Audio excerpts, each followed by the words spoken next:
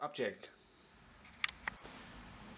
The next object we have here is a teapot.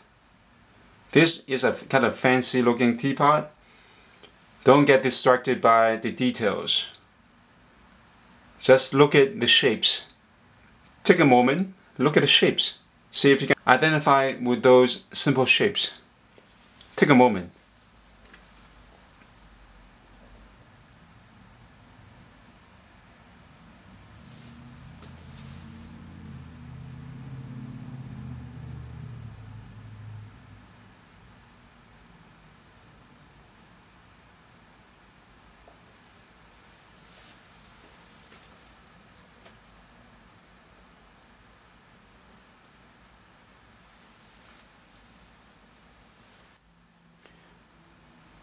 Okay, let's break down the object together.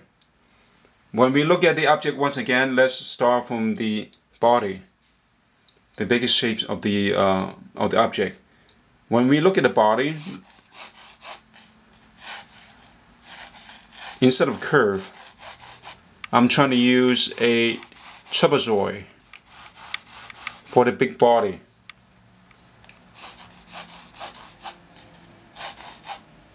The largest part of the shape. And go to top. What do we see? Another trapezoid, isn't it?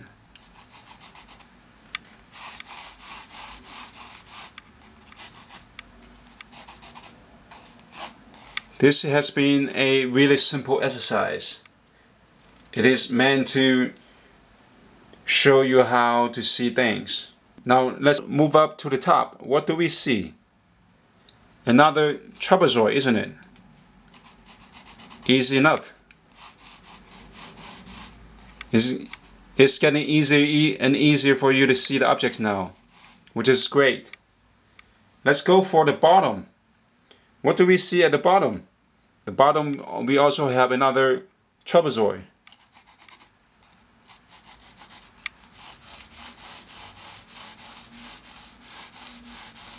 Just like that. Let me clean up a little. What about on the spout area? The spout area, I'm going to use a triangle instead of complex shapes. I'm just going to use a triangle. That's it. As simple as that. Triangle.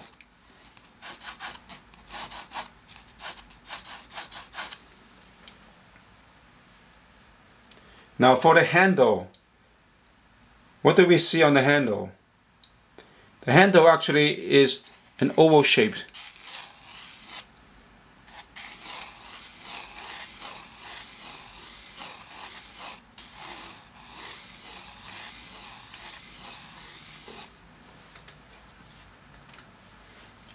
More over to the side, okay, more over to the side a little bit.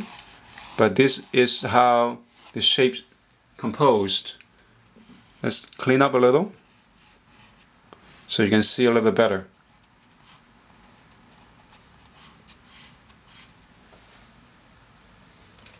Draw through, always draw through at the beginning. That will give you a better idea without hesitation to think through the object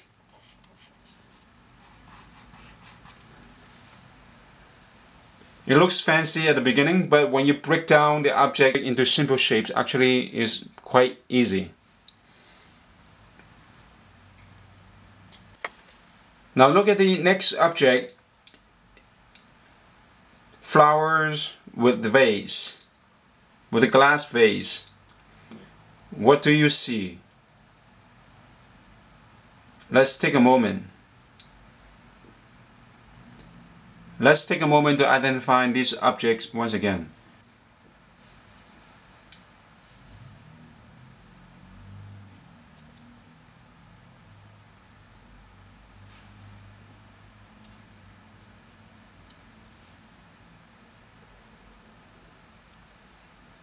Got it? This one actually the easiest one. It's not as complex as the other one, but because of the flower has a lot of petals. At the beginning, people might get confused. How am I going to draw each petal? Well, just like other objects. Simplifying the shapes. We don't see details. Train yourself to see simple shapes at the beginning. Now look at the flowers, all the combination of flowers. What do we see? An oval shape, isn't it? That's it. That's indicating all the flowers at the front. Now there's another smaller, smaller one is another circle. And the vase, another circle, isn't it? But it's flattened at the bottom. Later on when we do uh, more refining, all you have to do is cut off the bottom just like that.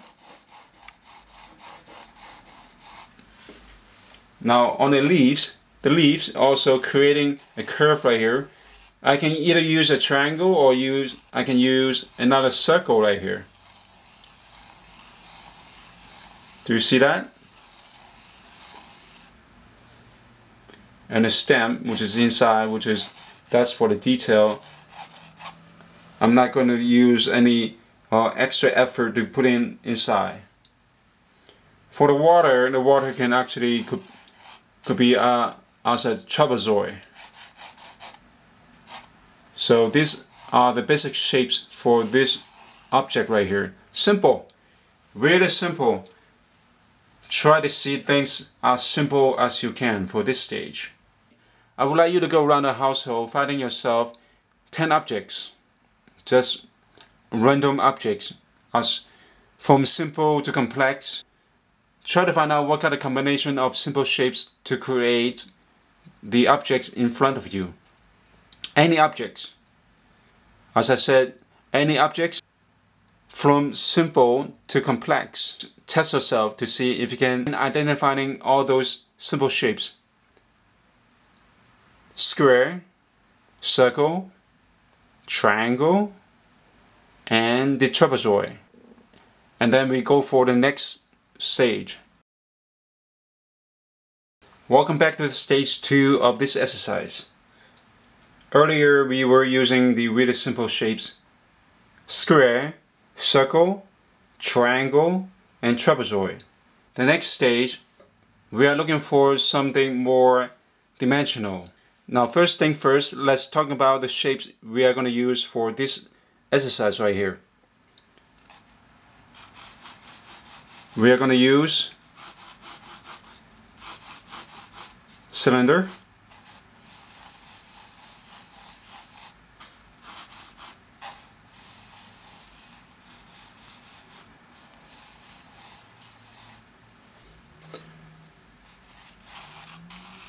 circle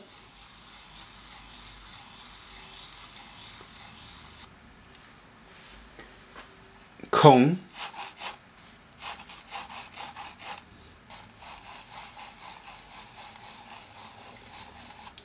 and cube.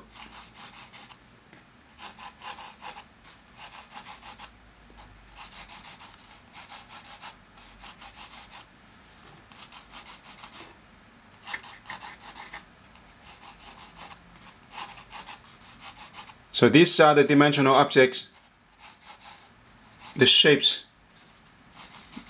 Now, these are the dimensional objects we want to use for identifying the shapes. Now let's look at this really simple object. The glass cup. The drinking glass, the wine glass. We are going to start from simple once again. What do we see? Earlier with the exercise we might use a rectangle or a trapezoid and then next at the bottom going down will be a triangle a rectangle and also at the bottom we can use a triangle once again. But now we are moving forward to use a little bit more complex idea to compose this object.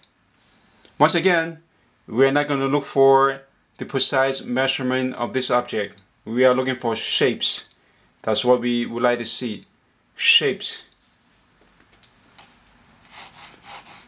I can use more likely a rectangle shapes. Let's draw a little bit lightly this time at the bottom. I'm just going to try to draw lightly. Now this shape right here, it looks like a trapezoid right here, but it is an idea of the cone shape. If you use a little bit slanted angle, if you use a straight angle, that would be the cylinder shape.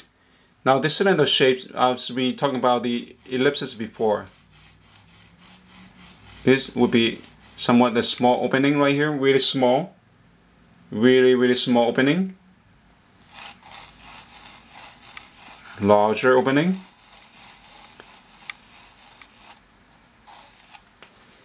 The perspective of the ellipses, what we were talking about before. Review with the uh, review with the exercise we had before. Now coming down, you can see there's a triangle, but that's a cone actually. Reverse cone, upside down cone. Since we already have the oval shape, we don't need to create another one. At the handle area, that is a cylinder.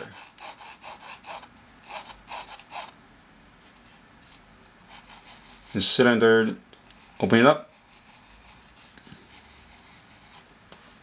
And at the bottom, you can see more like a triangle shape but now we replace the triangle with the cone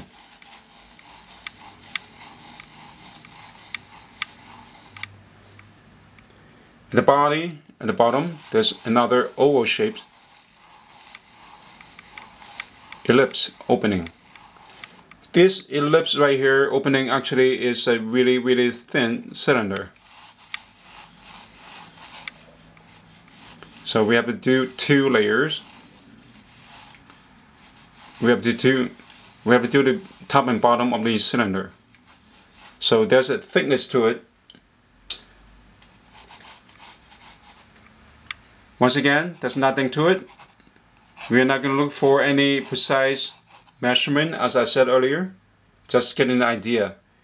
Uh, right now, there's no restriction about the measurement at this stage. Just try to break down the identifying the shapes. That's what we are aiming for.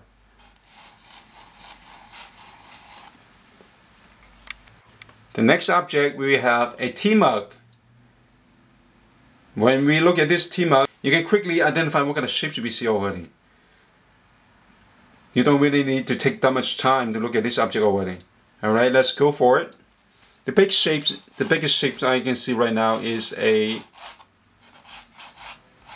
rectangle if we're going to use the idea earlier what we have it's still healthy to think this way alright I'm just drawing it a little more kind of a lighter so I can adjust my idea more now on the top there's an ellipse. The rectangle become a cylinder.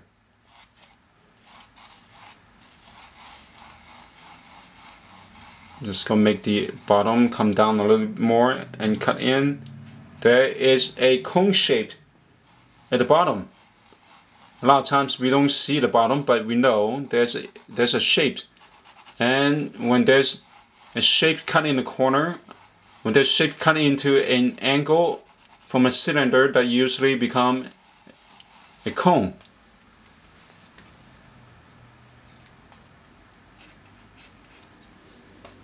At the bottom, there's ellipse too. Even though we do not, even though we do not see the bottom, is it's good for us to draw the idea, get into the habit, draw things more precisely. So there will be an ellipse right here too. And there's a cut in with another cone shape. If it extended, it would be come down this way but here's the cutoff right here. So here will be the shapes for the cone. Now there's another shape come down this way and also another cone. So that's how the curve come in. Later on the curve come in like this. Indication right here, when there's indication like this, that means there's more than one shape. And also, once again, when, when there's an angle cut in on the cylinder, that will become a cone shape. So this is the T-mud on the body. On the handle, we talked about before, we can use a triangle come in just like that. But now the next thing we have to do is use more of a circle to breaking down.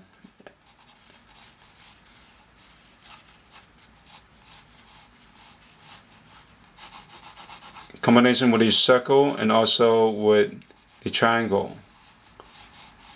So the shape of the circle connect with the triangle. Voila! We have just finished the ear. And if we want to do that little bit indication right here, just edit on later.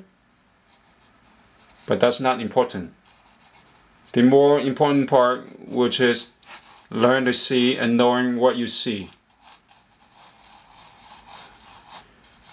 By combining all the information that we just talked about in the previous exercise and today's exercise, you can see how much progression you, you have already made. The next object we see is a beautiful design wine bottle. Look at this wine bottle. There's a lot of curve to it. But we already know how to see this object, so it wouldn't be too difficult for you to identify what kind of shapes we see at this stage. Now let's break down the object like the others. At the beginning, looks, let's look at the biggest area. What do we have? An oval, isn't it? There we go, an oval shape. And then, let's go up. What do we have? A cone shape, isn't it? Just like that, a cone shape. Laying on top of the oval of this of this oval shape. The next thing we're looking at is the the body, the handle area. What we have? A cylinder, correct. We can draw a cylinder right here and another cylinder right here. The next thing we have, which is a correct. That's correct and another cone shape, just like that.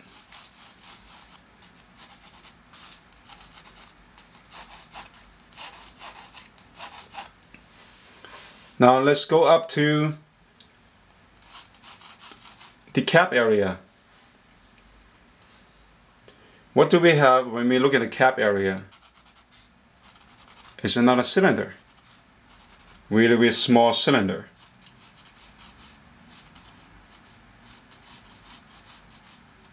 Let's erase this part a little for you to see, not to get confused. And when we look at the top again, there's another cone shape actually.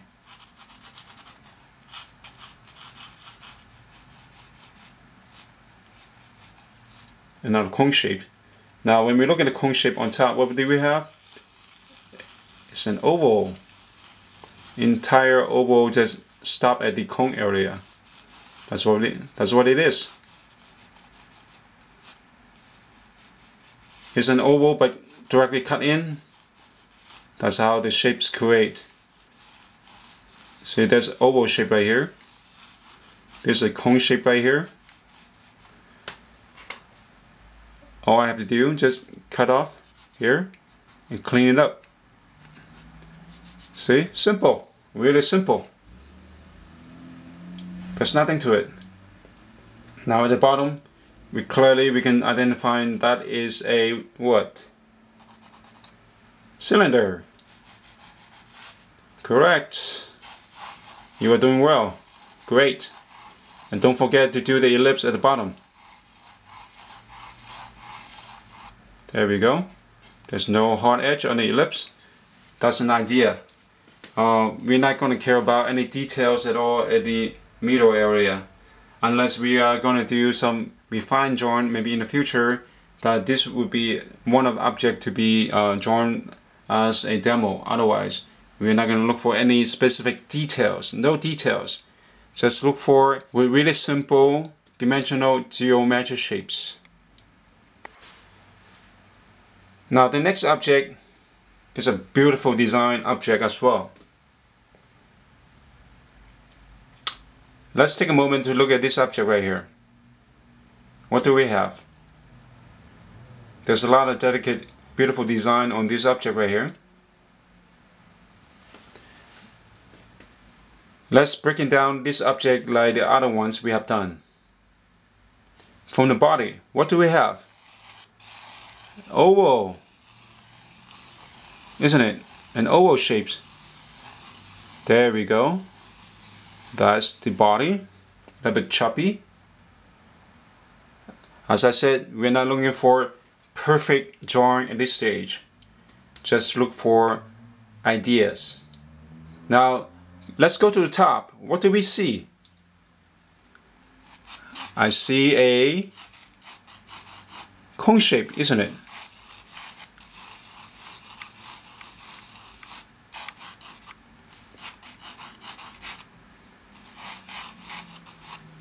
And then I can see another oval shape right here. Actually there is a small really really small kind of a cone shape right here once again. Really small cone shape. Really small cone shape right here. It go up to the top but it's really small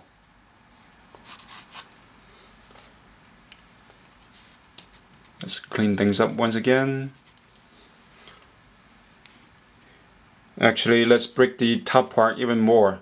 Instead of a, a oval shape, I'm going to break down into two cone shapes.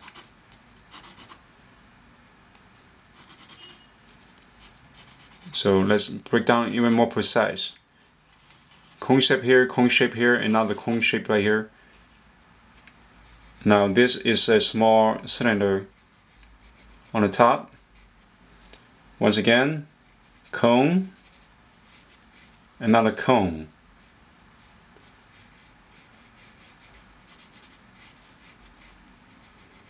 There's other cone shapes. Now look at the bottom for the legs in this area. What do we see? Do you remember do you remember the other ones we have done before with the legs? That's correct. We are no longer just seeing the legs as individual. Because all the legs, when you're turning, seeing the bottom, actually those legs forming a circle as well. So, now finding the direction of the legs, just like that, actually it will become a cone shape and all the legs will combine creating a cone shape like that. Later on all we have to do is just finding the, the placement of it. Just like that. It would be really easy idea and easy way to compose it. And also you can find out the, the leg in the back too. So See, the cone actually helping you to identify what's in the back right here. Give you a precise placement of the other legs. Instead of, okay, I draw one leg here, draw one leg right there. That's much harder actually. Now for the ears, the handle, see is a, you can use a triangle, but I rather use a trapezoid much easier at this stage.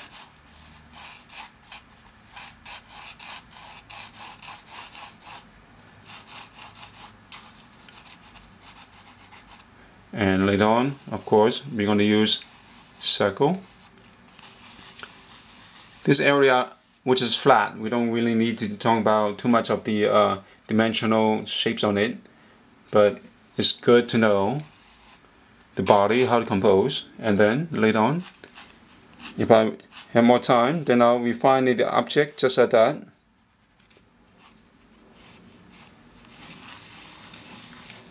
Get it more fancy looking.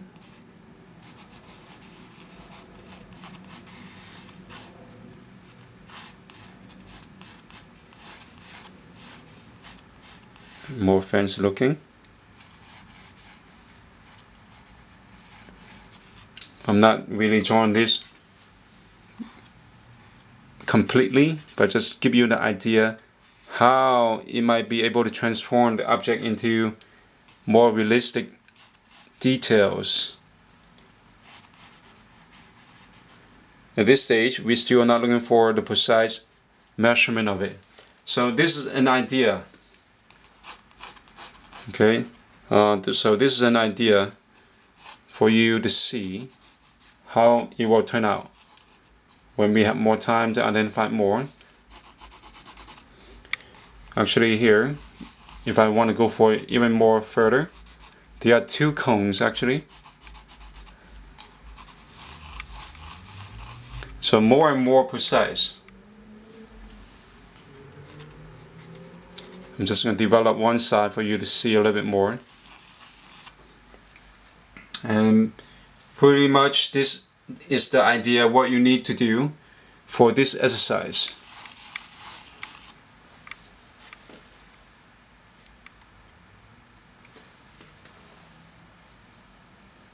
Once again, look for more objects, as many objects as you can to practice.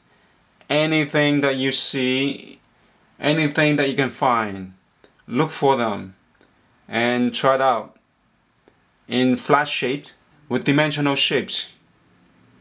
Have fun with it.